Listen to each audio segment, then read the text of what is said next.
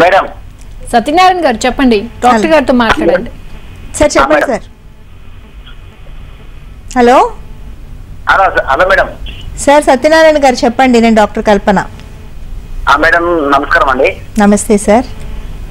ఈ పనులు అనేది చాలా రంగు వచ్చినాయి మేడం వీటికి ట్రీట్మెంట్ ఎస్ రంగు మారిపోయిన పళ్ళండి. నిజంగా చాలా డిస్టర్బింగ్ ప్రాబ్లం అది. ఎస్ నాకు అర్థమైంది సార్ చాలా మందికి చూడండి వాటర్లో ఫ్లోరిన్ శాతం ఎక్కువ ఉండడం వల్ల ఎల్లో టీత్ ఉంటాయి. వైట్ ప్యాచెస్ ఉన్న టీత్ ఉంటాయి. కొంతమందికి అంత బాగుంటుంది మధ్య వయసు వచ్చేసరికి అవి బ్రౌన్ కలర్లో మారిపోవడం రెడ్ కలర్లో మారిపోవడం బయటికి నవ్వలేని పరిస్థితులు వచ్చేస్తాయి. ఇందులో ఏంటంటే ఒకటి టెంపరీ ఉంటే ఒకటి పర్మనెంట్గా పళ్ళు అలా తయారైపోయి ఉంటాయి. ఈ రెండిట్లో కూడా పేషెంట్లు చాలా ఇబ్బంది పడతారండి. దీనికైనా ట్రీట్మెంట్స్ చాలా సులువు. కొన్ని సందర్భాల్లో అయితే సింపుల్ స్కేలింగ్ పాలిషింగ్ లేకపోతే టూత్ వైట్నింగ్ ఈ చిన్న ట్రీట్మెంట్ టచ్అప్ చేయడం వల్ల ప్రాబ్లం నార్మల్ అయిపోతుంది.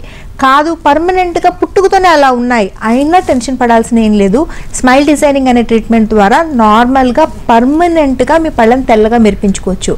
చాలా సులువు అండి. దీనిలో ఏంటంటే అటు క్రౌన్స్ పెట్టుకోవచ్చు ఇటు లామినేట్స్ పెట్టుకోవచ్చు. రెండిట్లో కూడా పర్మనెంట్గా మీ పళ్ళు తెల్లగా మెరుస్తాయి. సో ఇబ్బంది పడాల్సింది ఏం లేదు. సార్ స్క్రీన్ మీద నెంబర్ కనపడుతుంది మీకు. Zero four zero four one four two double zero double zero. అది పాత dental skin and hair one thirty బ్రాంచెస్ని connect చేస్తుంది. ట్రీట్మెంట్కి నేరుగా వచ్చి ట్రీట్మెంట్కి జంప్ అవ్వమని నేను చెప్పను. బట్ మీకు డౌట్ ఉంది నా ఎల్లో పళ్ళు ఏం చేయాలి అని చెప్పి మీరు ఒకసారి బ్రాంచ్కి వస్తే ఫొటోస్ చూడండి ట్రీట్మెంట్ ముందువి తర్వాతవి. మీ ఎల్లో పళ్ళకి హండ్రెడ్ పర్సెంట్ పర్మనెంట్ సొల్యూషన్ ఉందన్నమాట మీకు క్లారిటీ వస్తుంది.